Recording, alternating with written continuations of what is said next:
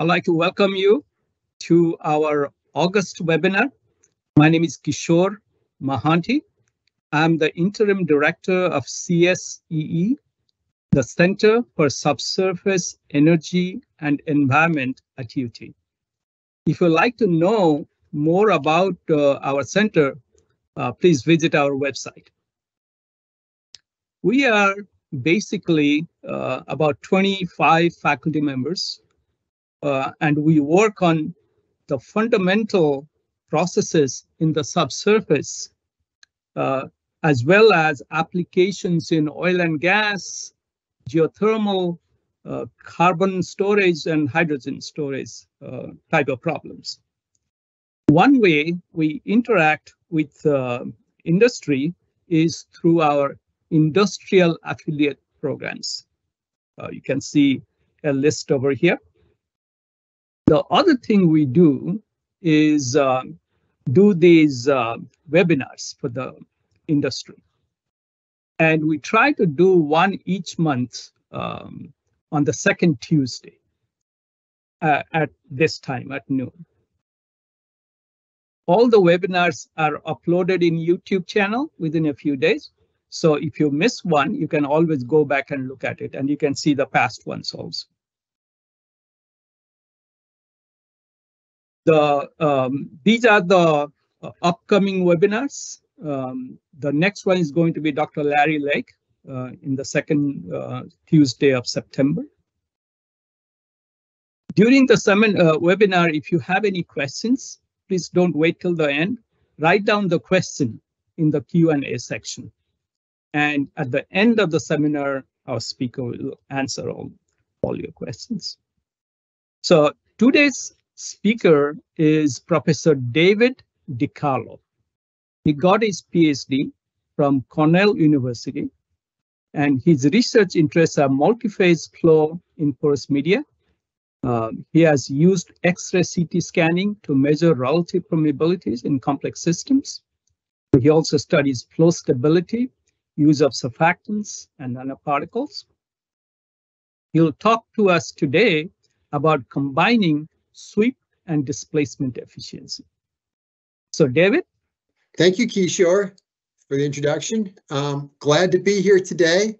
Uh, just a reminder again, if you get any questions at any time, just put them in there, but then you got to wait till the end till you get the answer. So that'll be fine though. I'll get to it. So we'll take them at the end. I can go back and show you the slides. Again, type them in when you think of them. Um, it'll be good to have at the end. All right, so I'm going to talk about combining sweep and displacement efficiency for reservoir flooding. I've been a part of some of these um, webinars before, more, more general things. This is going to be quite specific and quite engineering-like. So if you are a reservoir engineer, this one's for you. Okay, so just some ideas in reservoir engineering. And these came out from me teaching reservoir engineering here at the University of Texas at Austin. Okay, so as a reservoir engineer, we know that almost all conventional reservoirs undergo secondary recovery, and there's questions of doing this for unconventional reservoirs also. Um, particular conventional reservoirs, pretty much they all go, uh, sometime they go under water flooding. Some go under gas flooding. Sometimes we do something fancier like a polymer or other chemical flooding. And the key question for a reservoir engineer, a key question for, for any type of operator is basically we want to estimate the recovery versus time. Basically, then when I say time, it's how much you've injected or actually actual actual real time. Okay, and the way this is conceptualized for reservoir engineer is often two different things. We talk about displacement efficiency and sweep efficiency. I'm going to get into these details in a second here. Okay, and then how do we integrate these things into understanding how we get the total amount out? Because then we can predict how much we're going to get so we can size our facilities, we can understand our profit and loss, and all the other things are basically downstream of this calculation. Okay, so when we talk about total recovery, one way you'll see it in the textbooks is you'll see the total recovery is the original oil in place, OOIP, times the displacement efficiency times the sweep efficiency. What is displacement efficiency? Well, displacement efficiency is going to be basically how much oil is displaced from much oil is contacted. Okay, so let's look at this, this picture here on the right that I've stolen from a different um, uh, publication by Azim. Um, here we have on the bottom part, we have an injector well. Here we have a producer well. We're going to have a high perm streak here in the middle. This is a five spot pattern where you're going to be injecting water and you're going to be sweeping out um, oil towards the uh, producer well.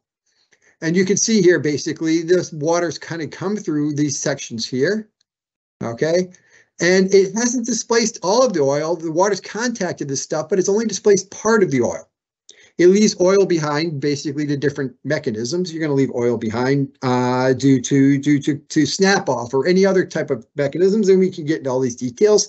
And us academics tend to do get into all these details, and I'll explain some of that a little bit later. So basically, so even though you've contacted these regions, you haven't displaced all the oil.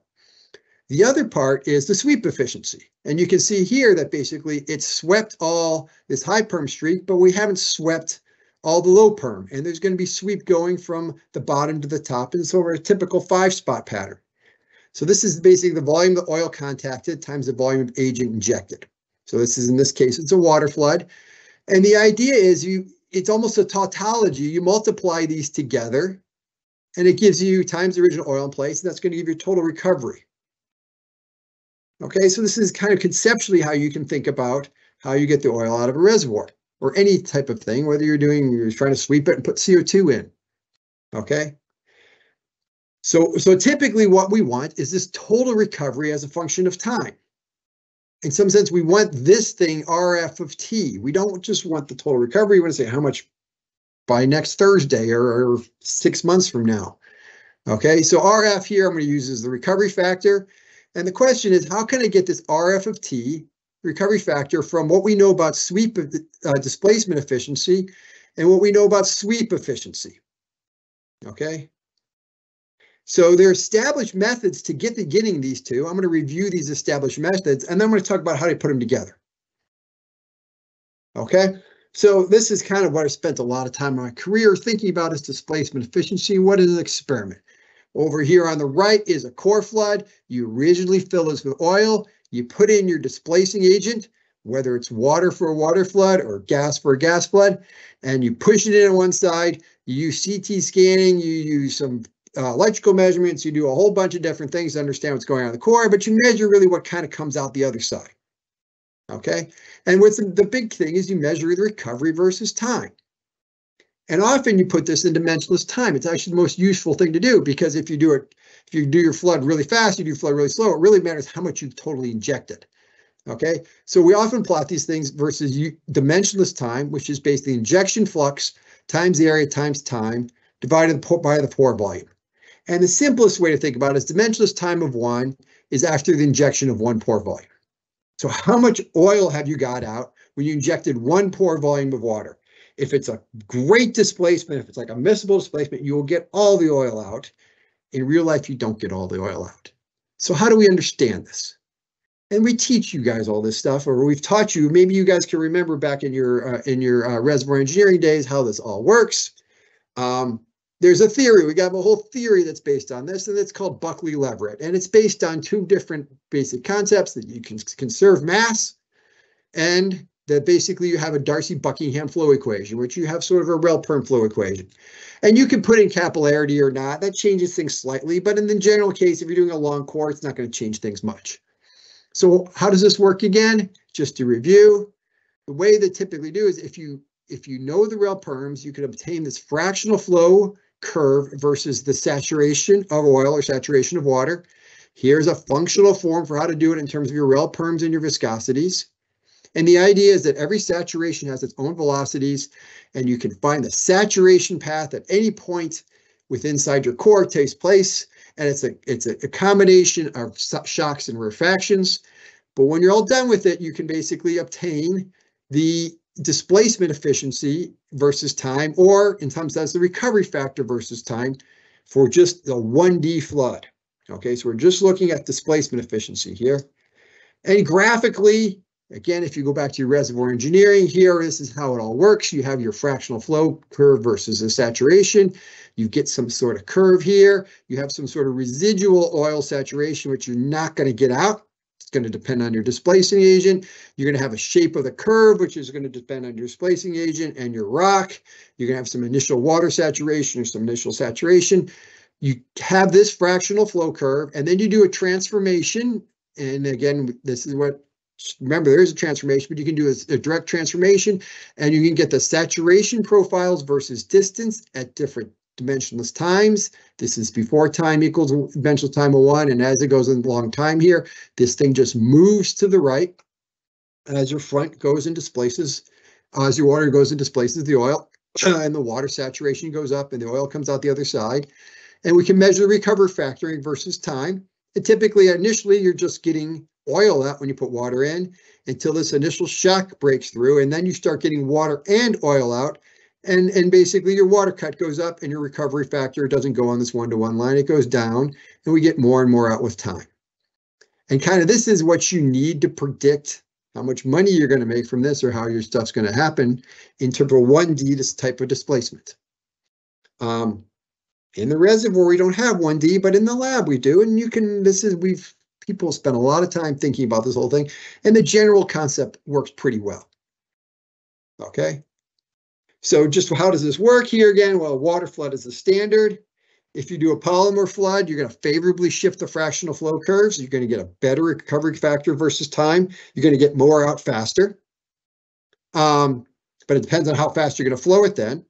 Then you can do gas flood. That's going to unfavorably shift the fractional flow curves, but it's going to lower the residual. So it might get the higher recovery factor versus time. You're going to get the higher final thing here, but just might take longer. So this shape of this curve is going to depend on your displacing agent. Okay, chemical flood will do other changes. These things are generally known. You ask anybody, well, what if I do gas floods? How is it going to change this? You can kind of have a general idea how this is going to take place inside a 1D thing. But the question is, how's this generally going to take place inside your reservoir, which is not a 1D core? Okay. That comes with understanding sweep efficiency. And of course, when you inject fluid into your reservoir, it does not move uniformly in a 1D displacement from one side to the other side. It's going to go in high perm streaks down here. It's going to go in a front here that's going to take longer to go this way than to go straight across. The wells are going to be placed in a certain pattern. Okay. It's typically broken down, or one way to think about it is you have two different types of sweep efficiency. You have vertical sweep, and as you can see here, this one here, the high perm streak is going to sweep a lot faster than the lower perm. So that's the vertical sweep, but you also have areal sweep, which is basically how long it takes for these streamlines to go from here to here to here. And these you can almost conceptually think differently. And how do you put those even together as as as um, individual units? It's easy to understand. It's not easy, but it's you can still understand one or versus the other. But how do you put that together? That's what I'm going to talk about. But before I do this, how do we just do vertical sweep? Let's talk about vertical sweep. And one way to think about it, and it's to think about it in the same conceptual space that we did displacement efficiency. Okay, so let's talk about vertical sweep efficiency here. The rocks have different distribution of permeabilities. It all comes in layers. We know these things are layered. We've not all been, but some of us have been to the Grand Canyon. You see the layers. You drive through and you see the road cuts. You see the rocks are in layers. And if you don't think about layers in petroleum engineering, I don't know what to talk tell you about that. But you should be thinking about these things being a high perm and low perm streaks. Okay, and this is a big part of the heterogeneity. So what happens is, though, one way, there's lots of different ways we have of doing these, understand the heterogeneity. One thing is commonly uses it's Dykstra-Parsons coefficient, so it kind of gives you the distribution of the permeabilities. So in terms of sweep efficiency, the, what I'm going to talk about right now is basically, I'm just going to say these are segregated flow. That the top layer is just going to flow in the top layer. There's not going to be cross flow here. The next layer here, which maybe is going to have a lower permeability, is going to flow a little slower. It's not going to flow back and forth these layers conceptually, this actually is a pretty good thing. It depends on how long your reservoir is, but segregated flow is a, is a pretty good assumption here. Okay, so let's understand how we can understand, let's under, try to understand how we can do the segregated flow in some sort of um, simple, mathematically constructed way to put this thing together to get some sort of sweep efficiency versus time. And we could do this the same way we do fractional flow theory for the 1D displacement. Now this is a 2D displacement here. I'm just going to do tracer flow. I'm going to assume it's perfectly displaced here, that there's a front between water and oil and you've got everything here, but this one's moving faster and this one's going to be moving slower and is going to be moving slower. Okay, but there's no displacement efficiency, just sweep efficiency. Okay, so there's one way to put this together is we could say, well, we have a fraction of flow in each layer. So this one layer here, the fraction of flow in the top layer is going to be the permeability times the thickness of that layer divided by the permeability and thickness of all the layers. We can actually have how much storage there is in each layer or the pore volume in the layer, which is going to be the porosity in that layer times the thickness of that layer. And we can get this for all these layers and we can order these things. We can basically calculate the fractional flow in each layer. And then we can order these from the highest ratio of F over C to the lowest. And by doing this, we get a fractional flow curve, just like you get for a 1D displacement. And we can make an F versus C curve. And from that, we can use the same Buckley-Leverett type of arguments. Let me show you how that works. So again, here, I ordered this, they don't have to be the top ones in this. It, you, you, we can basically slice and dice these things and move them around. So the top one is the fastest one moving one. Um, in real life, it might be the middle one. It might be the bottom one. It depends on the thing. But conceptually, we're going to say it's just flow in each layer. I put the, the higher the higher uh, permeability, the one at the top. Okay, so you have these layers. Let's just say you know them all for now, just like we know the rel perms. And then you can produce this F versus C curve. So this is the highest perm one, comes from up to this point C1. And then you add in the next layer and you get this, and you get an F versus C curve, which is just like a fractional flow curve mathematically. Now let's think about how the flow takes place versus time and average the saturation. Well, let's look at the saturation. average the saturation, sorry, over here. Average the saturation vertically. Okay, so this is almost what I showed before, but what I'm going to hear is a saturation versus space at different times. This is the early times. And if I'm at the early time, this is the top layer. It's gone that far, and this is all full of water now. And then if you're at a little bit behind this, here's the second layer. It's filled up all of these parts versus time. Okay, and we can add them all up, and then this whole thing moves to the right versus time. Okay, again, the same type of way we did before. Now we get a saturation versus space at different times, and we can get an average saturation that's in the rock as a function of total time here. And it looks like that. This is also just the recovery factor curve. Okay, so basically what we made is a pseudo fractional flow curve. We can go all the way to this. Conceptually, it works the same way. But this is going to be key to putting them all together to see how this all works. Okay, so a couple points here. This curve is always convex. And unlike the fractional flow curve, which kind of has S-shaped curve, this curve will always be convex, which means you'll always have rarefactions. And you're going to have to parameterize this. We don't really know the relative the, the all of our layers, but we can kind of get an understanding from um, we can get an understanding from oh, we can model it. I basically is a better way to say it. And the simplest thing is, is, is, and Dr. Lake is a big proponent of it. I'm a big proponent of it now. Is this Koval function? Because this Koval function will basically have this type of shape, and this has a certain Koval parameter. Which basically, if a Koval parameter is one, this goes straight across here. As the Koval parameter goes to 10, it's got a bigger bend, which is more heterogeneous. If the Koval factor is 100, it's got even more bigger bend. Okay, so this is maybe you can relate the Koval parameter to the Dykstra-Parsons coefficient. But no matter what, once we have this, if we assume a certain Koval parameter, we can calculate from this fractional flow curve, we can calculate the breakthrough. Just for tracer flow, just for tracer flow, we can do the same thing. Okay, how do we combine these? I'll get to that in a second. Okay, so that's just vertical flow. We also know that these things are not big sheets from one end to the other. Our wells are injector wells and our producer wells, and you're going to have a pattern like a five spot pattern, and you're going to have different streamlines that are going to be faster in the middle and they're going to be going slower on the outside. We can break this down just the type of same way here.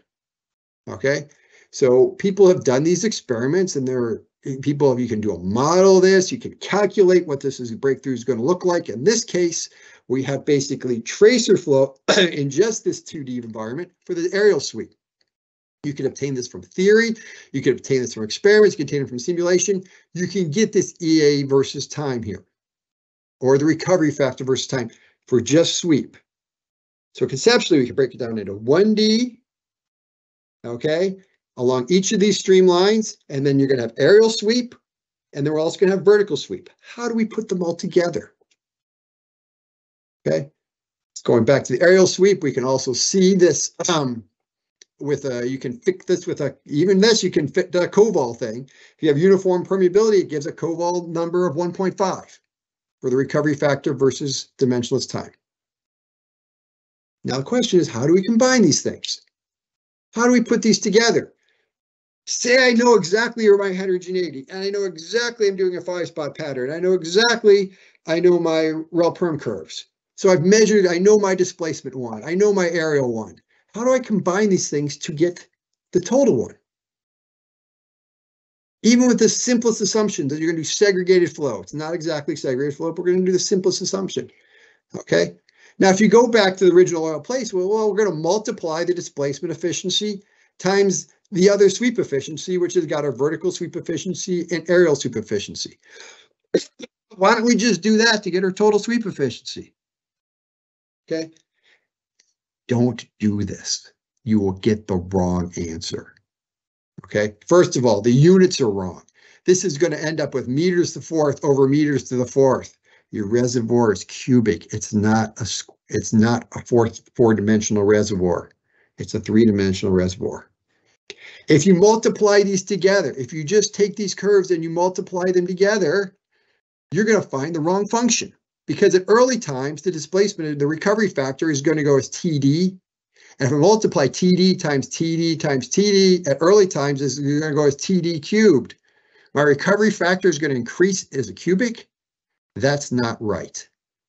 Okay, so this tautology of how to put sweep and displacement efficiency together doesn't work in practice. It's one way to understand it, but if you actually try to do a calculation, it doesn't work so well.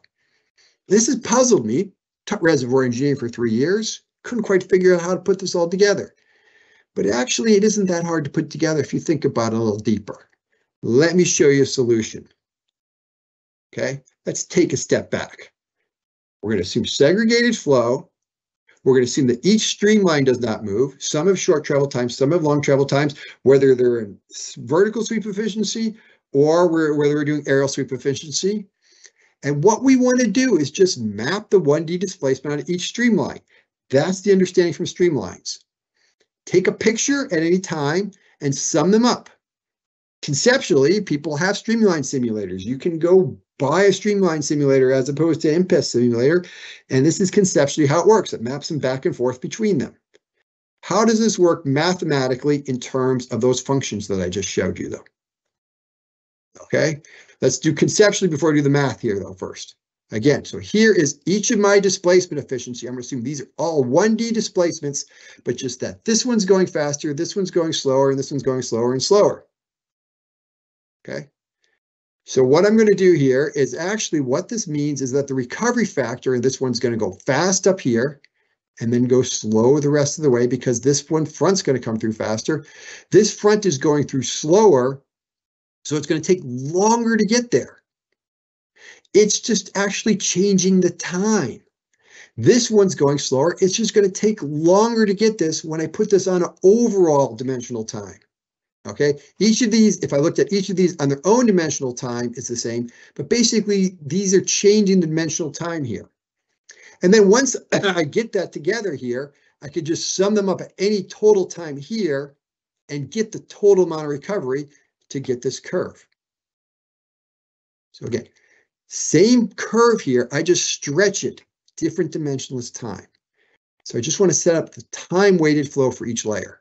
So this is how I can combine my vertical and my displacement efficiency together. Okay, so each layer has moves at its own speed of F over C. Again, that's the velocity of each layer. At the same total time t, each layer has gone through its own dimensionless time t, TDI, which is different than the overall dimensionless one, multiplied by just this factor here. So then the total combined recovery of the vertical plus the displacement, only doing vertical and displacement right now, do areal in a second, I can write it this way. I have to sum up the time weighted ones. I'm not multiplying, I'm summing up the time weighted ones. Okay, now other people said this before. This isn't a huge thing. It's just just kind of insight. Don't multiply them. It looks like you want to multiply them because that's how one way to think of it conceptually. But when you actually do it in practice, it's this time weighted way. Okay. And yes, it is that simple. It isn't that hard. You just have to think a little deeper. How would you do this in practice? You're going to get F over C for each layer from a Koval description. If you have a Koval description, you can break this into as many layers as you want and get F over C for each of those layers or for a different Koval parameter. How are you getting the Koval parameter? Well, some geologist is going to tell you some Dykstra-Parsons coefficients, and there's going to be some sort of functions that are going to tell you how to do this. Okay. Again, this is not new. Willhite's book on water flooding, which is quite old, maybe older than me, I don't know, I'm kind of old, has the same idea. Okay. But the, the, the big thing here is I want to do this for all three. This was just vertical displacement. How do I add in the areal part too? Again, the experiments and simulations give you EA versus time, but they don't give you this F over C. Even if you have a five spot uniform parameter thing, you don't get F over C for areal sweep. Okay, so the key thing is getting this F over C for this areal sweep because that is the thing I have to put in the functional form. And it isn't that hard. We can just run it backwards. So this is actually how you do the experiment or how you do the simulation or how you do the, the theory. You have your five spot pattern or you have your different pattern. You get your recovery factor versus TD. There's a one-to-one -one correspondence of there's recovery factor versus TD to this F over C parameter. So we just run it backwards. Remember, we can go from right to left. If we go this way, you can actually go from left to right. It's a one-to-one -one correspondence. And once you have this F over C, then you can use it the same way to put the areal in. So there's a complete, we can get a complete prescription for doing this whole thing. You want to attain the F over C for the areal for the Koval parameterization of the areal tracer curve. Okay. Now we now let's how do we put this together? Let's say we know our displacement efficiency from experiments at REL perms. I combine my displacement with my areal to get one for each layer. Okay, now the layers have different permeabilities, but I'm doing my areal and my displacement to get it for each layer now. And then I'm going to have a whole functional form for each layer, which is then the input for the vertical for each layer. It uses the same math. It works the same way, but you just basically have to use this as the input. So you take one ED as input to areal to get this one, then this is the input for the vertical. And that's how you want to build it up. You want to build it up from a 1D core flood to a 2D combined areal and displacement for each layer to 3D for combining each layer. Okay. You can follow this through. It's a complete workflow for doing this. Okay, let me give you an example. So I'm going to do this example. I'm not just going to use Koval theory for all of my curves. And you can use Koval for displacement efficiency also. Okay, and it's just easier mathematically to put it together. So I'm going to use, so here's my displacement recovery that we've measured this in the lab, and this is the recovery factor versus dimensionless time. And it matches something that gives you basically a Koval factor of three. And we're going to say that the saturation change is 0.6. You have a residual saturation of 0.4 here. So this is a displacement curve. It will look something like this in the lab. It will actually have some noise. It will actually not be perfect, but you can basically model this thing here. Okay, and you say, okay, maybe a Koval one of, th of three fits well. Okay, so this is my displacement recovery. So again, this is just the 1D displacement. How do I add that in with the areal? Well, I'm going to take this thing and use that functional form that I showed a couple slides back here. This one here, I'm going to use the displacement one. I'm going to put in my areal one here. I'm going to have to know my C's for the areal, and I'm going to get this areal one here. And by doing that, I'm going to first of all say my areal one has a Koval factor of two, which is maybe maybe not a perfect five spot, but it's maybe has some um, um, something to do with how the uh, viscosities change. We'll just use a Koval factor two. I can take that and use this, and it's a simple functional form, and you can see this one spread it out a little bit more here because now I have both the displacement efficiency, which is taking some time for the last part to get through, and the areal thing, which is taking some part time for those last parts of the um, five spot to get through. So you can see this is basically take, take, it's not all the way through at two. This one is basically almost all the way through here at a dimensionless time of two. Okay, so it's taking a little longer. It's spread out a little longer. I've changed the axis here, sorry. You get less recovery at the same time because you have to combine it with the areal. Now we can add in the vertical displacement efficiency. Let's just say now we have a bunch of different layers. Some have higher, you're going to have more of a spread here because you're going to have a lot of high perm, not a lot of, you're going to have some high perm layers, you're going to have some low perm layers. Those are going to vary by a much bigger difference than basically they are within the layer. Okay, so I just chose a Koval factor of five. And you can see it's even spread it out even further. Look, you're still taking longer time to get through here. And the blue is what you calculate here for the total. And now actually when you're done with this whole thing, you can say basically fit the whole thing with another Koval function, which is basically just a recovery factor versus time. Again, there's a one-to-one -one correspondence between the recovery factor versus time and the fractional flow curve or your F over C. And I can say I can just fit this with the Koval function. The Koval function doesn't fit exactly right because this is actually spreads it out a little bit more. Functionally, it's not exactly the same, but practically, it's pretty good when it comes to reservoir engineering. So when I use these different Koval factors, it comes into overall Koval factor of eight, basically, which is even more spread out. Okay. So we have a way of doing this. It's very straightforward. It's very quick. Okay. As opposed to running a simulator, as opposed to um, making a bunch of assumptions and taking guesses, there's a standard workflow you can follow here. So let's talk about what kind of assumptions and caveats went into doing this whole thing. Is this like a useful thing? Well, I think so. I assume this was segregated flow. In real life, you are going to have cross flow, but in general, I think it's a good assumption as opposed to more cross flow type things. Your mileage may vary depending on how thick your reservoir and how long it is between your wells. You'll have to think about that a little bit, if, see if it's a good assumption for your type of reservoirs. Um, in this calculation, the simple calculation, I assume no mobility effects. So there are mobility effects.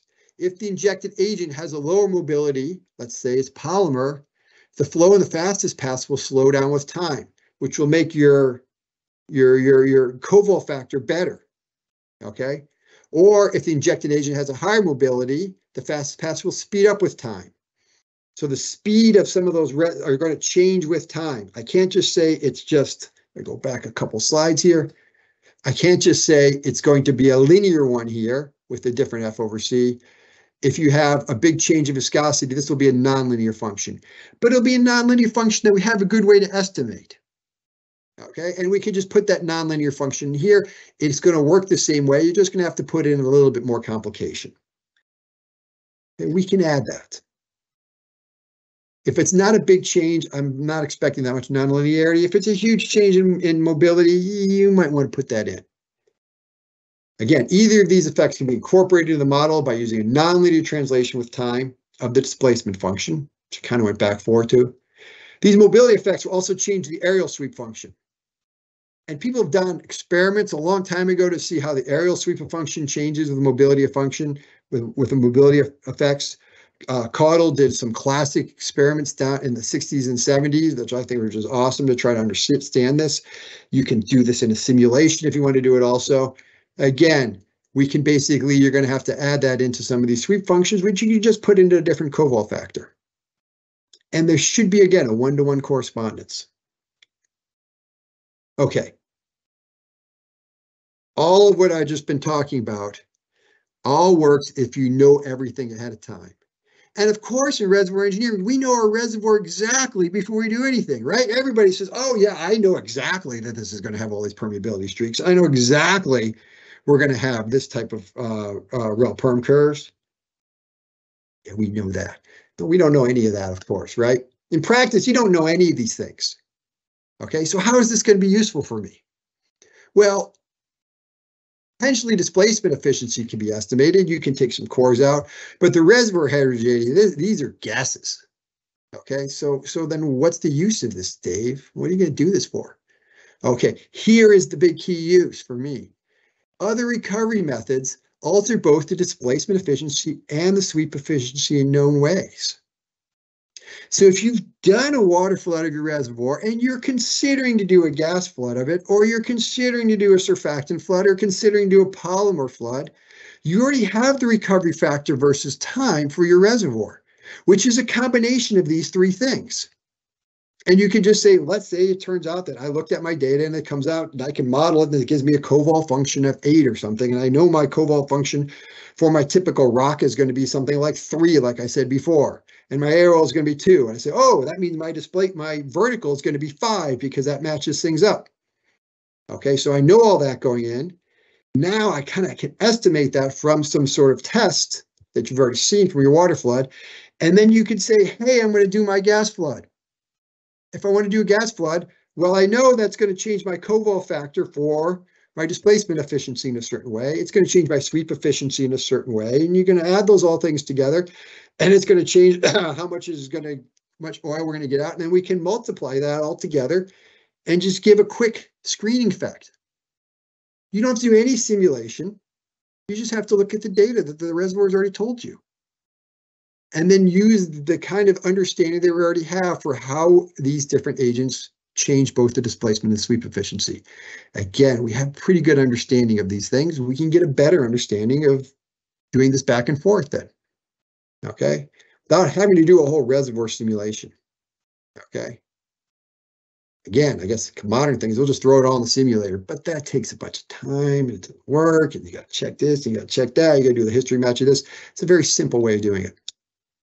Okay, so I want to thank you for your attention for the last 35, 40 minutes. I don't like to go a lot of time. I can't pay attention to more 40 minutes. I'm hoping you guys have some questions for me. Now's a good time to start putting them in there. Um, I'll be looking here. Again, how we do this now, I get to see all your questions. I'm going to take them one by one and try to give you answers and go from it there. So with that, I'm going to end the slideshow and end my screen sharing here. Moving to other applications, if we were to displace brine and aquifers rich in mineral, earth minerals, what is the best way to start thinking about flooding? Polymer flooding or chemical flooding? So I think this question has to do with basically any type of, you can use reservoir flooding. We talk about it in terms, or I've been talking about in terms of producing oil. You can also talk about it in producing minerals, um, let's say lithium, or you can talk about even in CO2 flooding here.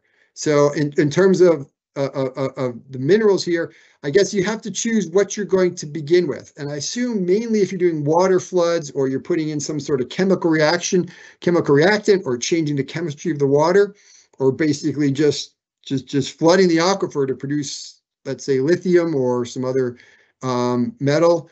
Um, that will be more tracer-like. So your displacement efficiency would be pretty good.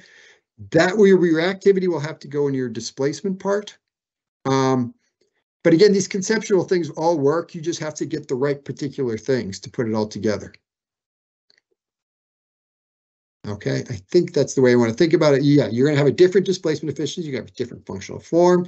You're going to have a different sweep efficiency. It's probably a little better because it's going to be more tracer flow like, but you're still going to have the heterogeneities. Okay, here's another question. Have you tested this against real reservoir floods?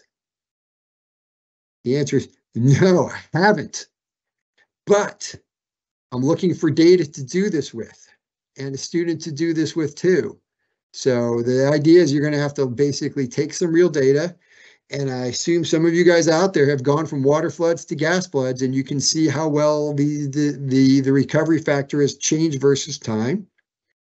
And there could be thing ways to ground truth it or even actually to do to do hindcasting where we can just estimate when you went from a water flood to gas flood how well it would work and then keep the data for how well the gas flood keep it away from the predictors mean potential students then see at the end how well does it does it predict here that'd be great Question, what is the issue with combining covering agents? Don't understand the question again. What is the issue with combining recovering agents? I'm going to take that as basically, why do you have to change things when you change the recovering agent? Um, the main point is gas floods will give you really good displacement efficiency. How about I put it in terms of between gas and water? Gas floods give you great displacement efficiency. You do a CO2 flood with a core and you do it vertically stable and you're going to get out all that oil. But in practice, it's going to mess up your sweep efficiency. Your sweep efficiency is going to go bad. Okay, so you your your your your your Koval factor for your sweep efficiency is going to get worse. So you're going to have to put those thing, two things together. And how do you put them together? Is is the display advantage from displacement efficiency so much more that that the sweep efficiency doesn't matter? Um, or is it faster and we're just not going to care the sweep efficiency is going to matter? Or how long should we do our gas flood here? Because we know the sweep efficiency, lots of it's going to come slow and slow and slow. You kind of need to make those predictions and each agent is going to behave differently.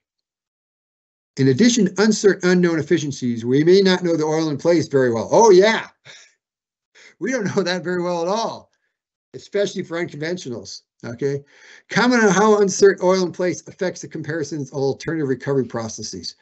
Oh, that's a good question. Um, that's going to be basically oil in place is going to be basically your pore volume in place too. Oh boy, that's a good question. Um,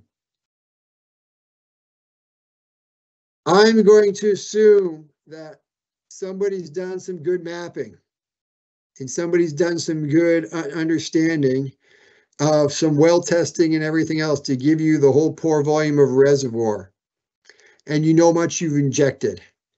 If you have a big uncertainties in the oil in place, which is often a bigger thing in unconventionals than conventionals. For conventionals, you're going to have less uncertainty. For unconventionals, you're going to have a big uncertainty. But again, you're not doing the secondary recovery for the unconventionals as such. So um, that's a good question. Um, it can be added. I haven't thought exactly how through to add in how much deck. going to, you're going to assume a certain dimensionless time, but if your dimensionless time is off, and then everything's based off of that dimensionless time for each thing. Uh, yeah, maybe it goes in the same way. Maybe that's a different thing to add. That's a good question. I'll be thinking about that one. Can you give me more detail on how this can be used to determine if I should put a field under a CO2 flood? Sure. Let's just take that for example here. So again, I have a field. Do I want to put it under CO2 flood? Hopefully you have some water flood data from this. Okay, hopefully it's been under water flood. You have some sort of recovery versus time. You've seen that water flood peter out. You can model that to get some sort of sweep efficiency. You can model that to see basically how well the water has swept your reservoir. Okay. Now, presumably you're going to have some sort of guess of the rocks. And you're going to say, well, I've left behind 50% of my um, of my oil because water flood's going to leave behind 50% or so. Um, and some of that's from displacement and some of that's from sweep. So maybe you say, well, uh, uh, a gas flood is going to give me a better displacement efficiency. It's going to, instead of leave 50% behind, it's only going to leave 10% behind. So I'm going to change that. So I'm going to change that ED function Okay, we know how that ED function is going to change if I did a gas flood the whole time. And then we can basically estimate how the Koval factor is going to change for the sweep efficiency. It's going to get worse. Okay, so you can just, hopefully, if you have enough data, you can say, okay, my ED is going to go this way this far. So my functional form is going to shift this way. My Koval, if I put it in terms of Koval and delta S, my delta S is going to get bigger. My Koval is going to get better, worse. Um, and my Koval for my sweep efficiency is going to be worse. And I'm going to say, okay, I'm just going to get twice as bad for my Koval. My Koval instead of five is 10. My my um, delta S has gone from 0.6 to 0.9 and you can just multiply that all together. You can just use the same thing um, and then calculate how fast that, that gas is going to come through. It's going to give you the same curves. If I can go back to the um, sharing here.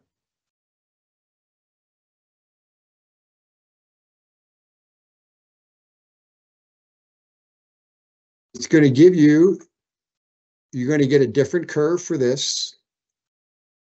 You're going to get a different curve for all of these things. Okay. And then you can put them together and get a total different final one like we did here. So you're going to, if you change this to 10, if I change this delta S to 0.9, it's a straightforward calculation to see how the recovery factor is going to take place. Now, if it's underwater flood, your delta S is not going to be 0.9, it's going to be 0.3 now because you've gotten out 0.6 of it or something like that. Um, and then you can estimate, you'll just be able to get a recovery factor versus dimensionless time of pore volumes of gas injected here. Okay, you're gonna have to subtract out all the oil that's come out originally, your oil in place has changed. Um, but again, it should be somewhat straightforward. And this could be implemented in, in, in, in, in almost just a simple workflow. Okay, there are details. It needs to be ground truth from other, if you're, if you're a gas, if you're a company likes to do gas flooding, you're gonna need to ground truth this against a lot of the gas floods you've done already. Um, because I just told you I'm gonna double the Koval factor, but that's just a guess. In real life, you're going to have to check that against actual data. Okay. But presumably if you have enough data, you're going to say, oh, instead of doubling, I got to multiply it by four. And that gives me good estimates. And I assume that most companies who are basically big in this, they have other ways of doing this, but this is another way to check it. And the software will run real fast and real fast and real robust. Okay, another question. One of your famous colleagues has long argued that CO2 EOR is a flow past the oil process not a fluid pushing an oil bank process. Can you accommodate that concept in the Buckley-Leverett basis of what you showed today? Okay. Um, this is a question from another one of my former colleagues, Steve Bryant. So the idea being that, let me go back to my slides.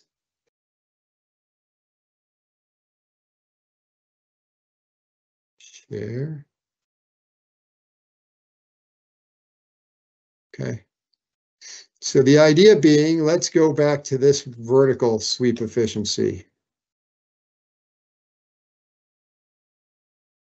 If you put gas in here, this one's going to go real fast here. And then this one's going to be producing really fast here. And then basically you're just going to get that. And the gas breakthrough happens really fast because your vertical sweep is going to be a lot worse when you put in a worse viscosity ratio. So, but now you're going to be in this. So this one's going to be in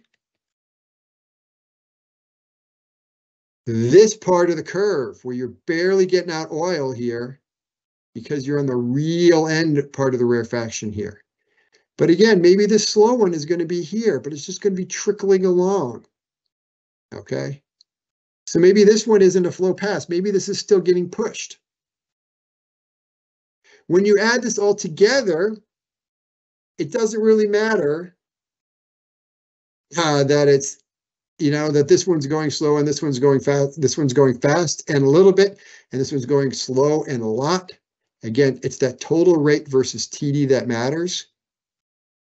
Um again i'm assuming all segregated flow for this to be the case. If you're basically doing some sort of stripping where you're basically catching up oil from the outside or you're basically what's happened is you've you've stripped all this through all the oil out and the oil is is is, is moving uh, into this region then this model won't work so well. Um, this is based on that idea. And i guess the proof is in the pudding to check it against gas reservoir flooding. I think that'd be an interesting thing to do to see hey does this work at all? I mean, and sometimes things will give you the right answer for the wrong reasons and sometimes you get the wrong answer for the right reasons? Is it a potential way that that is conceptually makes sense and puts things together? That's the big thing for me. Um, and it needs to be tested. For me, the biggest thing is is between going from a secondary flood here and basically how to put this together in a reservoir engineering standpoint. Again, mainly people, if you're really going to do something big, everybody's going to want the reservoir simulation. And I understand that we've got big computers and we've got big fancy computers and we spend a lot of money on those big fancy computers. So we're going to use them.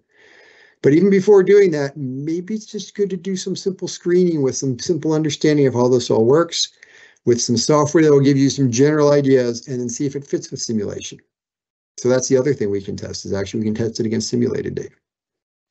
So I want to thank everybody for paying attention and making it through this whole 50 minutes, almost an hour of me talking to just a screen. Guys in there. It's always weird for me, and I'm glad we're back in person. But thanks again. Until next time, which will not be me, will be Dr. Larry Lake on September 12th. He will be presenting a little more august colleague. It should be a very interesting webinar, as they always are. Please come back for that, and I'm looking forward to seeing you guys then. All right, signing off.